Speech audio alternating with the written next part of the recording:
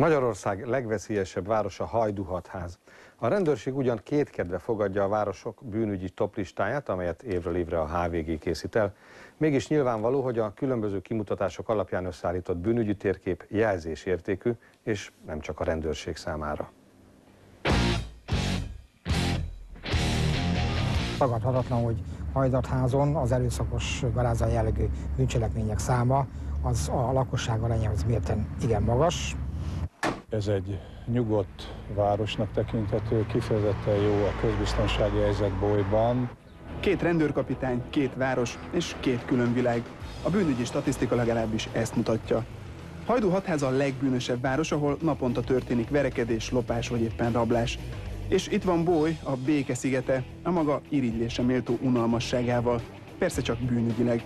A két város 430 kilométerre fekszik egymástól, de a közbiztonság szempontjából fényévnyi a távolság közöttük.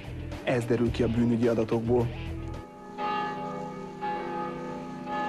Hajdú hatházon tavaly 17 rablás történt, ez a kategória ezüst térméhez volt elég. Boly egyetlen 2006-ban elkövetett rablásával a sor végén kullog. Hajdú hatház viszont a rablásokon túl 30 testi sértéssel és 87 garázdasággal, a lakossághoz mért arány alapján az ország hetedik legerőszakosabb kisvárosa lett. És a legbeszédesebb adat az elmúlt évből. Míg Hajdúhatházon minden ezer helybelire, az országban a legtöbb, 35 bűnöző jutott, addig Bólyon csak három. Mindent egybevetve a tavalyi adatok alapján Hajdúhatház a legveszélyesebb kisváros, míg Bólyon volt a legkevesebb gondja a rendőrségnek.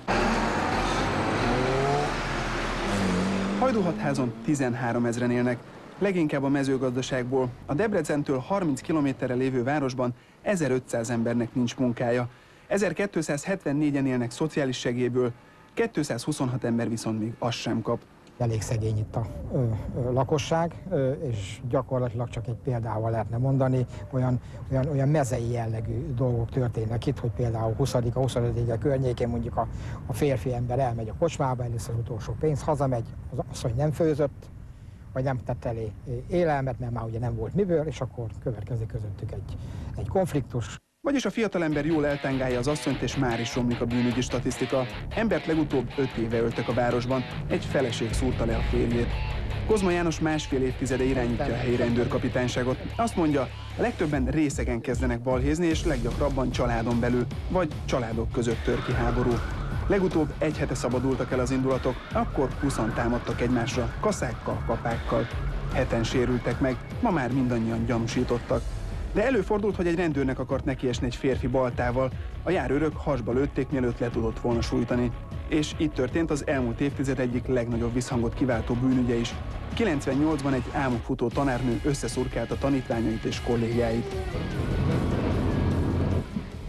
városban senkit sem lett meg az előkelő bűnügyi toplistás helyezés. Az okokról nem beszélnek a hatháziak, inkább a vasútállomás felé irányítanak kérdezősködni. Erre felé él a legtöbb nélkülöző. Hatházon legalább négy szegény negyed van, több mint 1300-an laknak ezekben az utcákban. A rendszerváltás előtt majd mindannyian dolgoztak, most 90%-uk munkanélküli.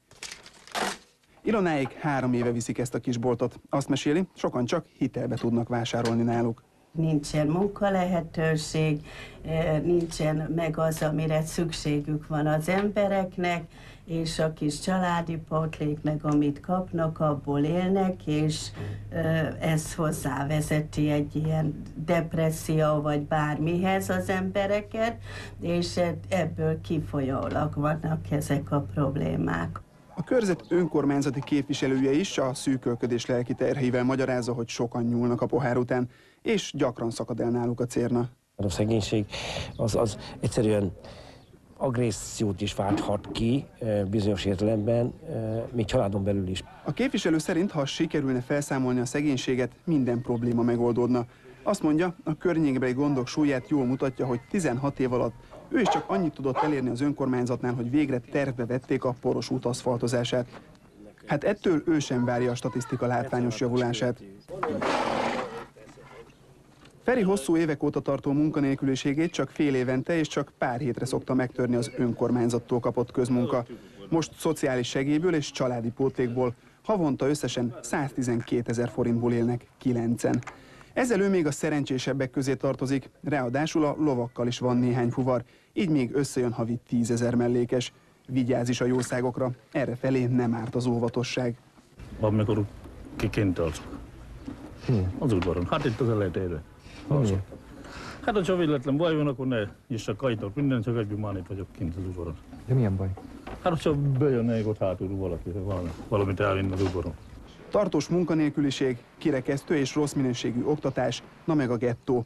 Sorolja Ladányi János egyetemi tanára hosszú távon törvényszerűen gyakori törvénysértésekhez vezető alapproblémákat. Hajdúhatház mindegyikre iskola példa.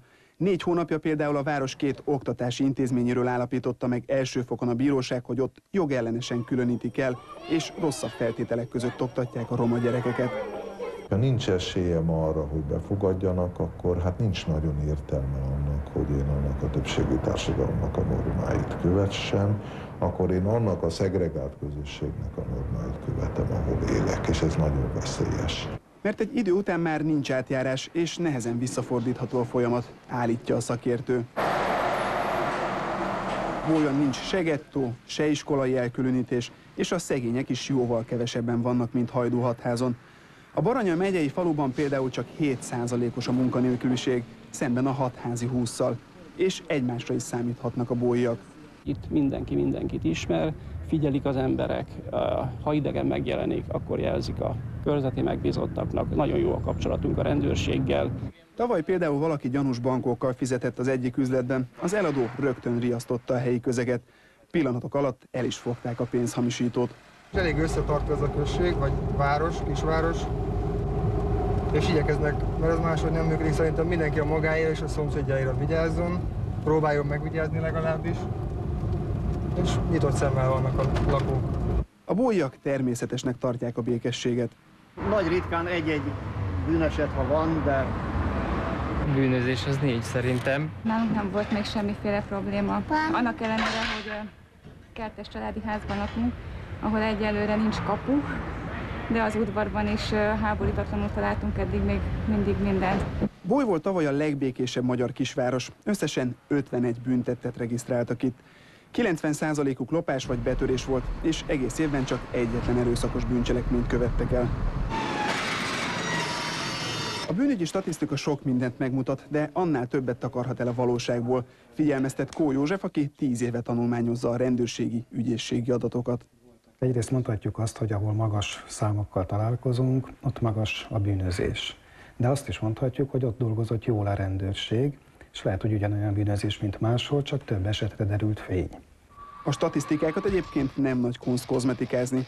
A lopás például akkor számít bűncselekménynek, ha legalább 10 ezer forintot ér az elcsent. Ez alatt csak szabálysértés, ami már nem kerül be a bűnügyi számsorokba. A kárértéket azonban gyakran az a rendőr becsüli meg, akinek akár a pénztárcája is bánhatja, ha túl sok a bűncselekmény az adatbázisban. A tized százalékokon ugyanis prémiumok és előléptetések múlhatnak. Valaki tudja, hogy az alapján fogják értékelni, hogy milyen adatokat regisztrál, akkor önkéntelenül is torzíthat ezeknek a leírása, még akkor is, hogyha a legjobb jó szándék vezeti. De hát sajnos még ez sem minden esetben igaz, hiszen a rendszerváltás óta sajnos már közel 20 bűnügyi vezetőt vontak felelősségre azért, mert meghamisította a bűnügyi adatokat. Nem is kell feltétlenül direkt manipulálni, a rendszer eleve torzít, hiszen abban egy sorozat bűncselekmény annyi önálló büntetként jelenik meg, ahányszor elkövették. Így járt pórul például tavaly Szarvas. A békési település 2005-ben még csak a 147. volt a bűnügyi toplistán. 2006-ban viszont torony magasan lett az első aranysorban. Egy hanyag könyvelő ugyanis 3100 ügyfélszámláit hagyta el, ezzel 3100 rendbeli okirattal való visszaélést követett el. Hosszú távon azonban nem hazudnak a grafikonok. Boly évek óta a valóságban is olyan csendes, mint a papírokon. Hajdú hatház pedig régóta hozza a formáját. Az idei első fél év adatai alapján a következő toplistán is garantált a dobogó.